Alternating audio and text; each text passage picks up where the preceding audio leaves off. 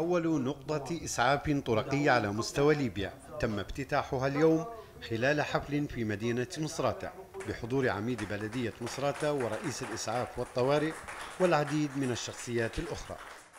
مساء مش نجاح مدير جهاز اسعاف طوارئ فرع مدينه مصراتة طبعا اليوم إحنا في احتفاليه افتتاح اول نقطة إسعاف على الطريق الساحلي إن شاء الله أن نسعى من هذه النقطة. ان تقدم خدمات في البداية إلى المارين بهذه الطريق. على في المحيط محيط الخدمات. تخص هذه النقطة.